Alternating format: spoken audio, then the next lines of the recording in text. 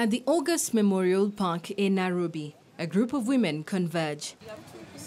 The need for self-empowerment has driven them here under the stewardship of Lillian Adhiambo, who trains different groups on how to make shaggy modern-day mats. I used to work before, but I never really found satisfaction in the job that I was doing. Uh, being that I'm a mother, I found it very hard uh, coping with the kids and also going to work. Whether because of this house girl issue, I used to have issues with the house girl. Sometimes you go to work, sometimes you miss. So I just decided to quit uh, my job and uh, to be a stay-at-home mom. And I needed something also to add on this. And my, I, also, I also had desire to empower others, not only for myself, but also to empower others as I make some income. These women have never met before. The strangers are here for one reason, to invest in their future.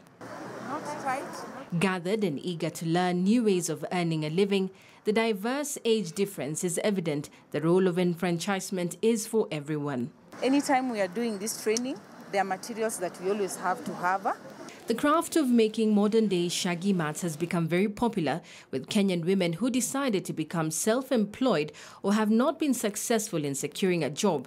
It, however, requires a lot of skill. We have the tapestry, this one as many people call it, even though it has different names. Like uh, if you Google, I tried Googling, you find that uh, sometimes it's called burlap, some people call it base, but the, the name, the normal name that many people know is the tapestry. And then you need the yarns. You need the yarns. They have different colors. There are different uh, variety and different from different makers, different producers. Like this one is robin. There's another one you might find that it's a butterfly. There's one called seal, but uh, they differ. The quality differ. So it will depend with you, and the prices also differ. Teaching this craft is not very expensive. Lillian's charges vary depending on location.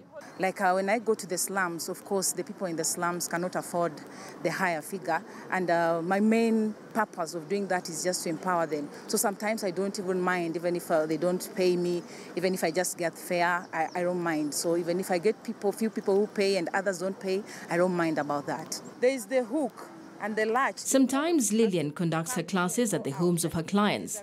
She also travels to neighboring Uganda. Nilionea kwa internet. My husband aliniambia, sasa akaniambia nikuje huku nijifunze na mimi nianze. Na nimeona ni kitu poa na iko smart sana. It is not only Lillian who has a passion to empower fellow women. Lucy Njoroge plans to pass on her skills to women in her community. Wamekaa hivyo bila kazi kutegemea wa bwana, lege mtu akapata akakosa. Modern day shaggy mats have also attracted students who want to venture into the entrepreneurship and at the same time be able to pay their school fees.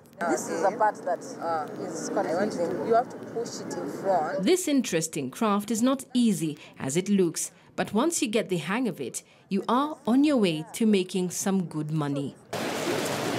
One shaggy carpet can retail between 7,000 shillings to 15,000 shillings. This is almost 100% profit, having in mind the required capital is about 5,000 shillings.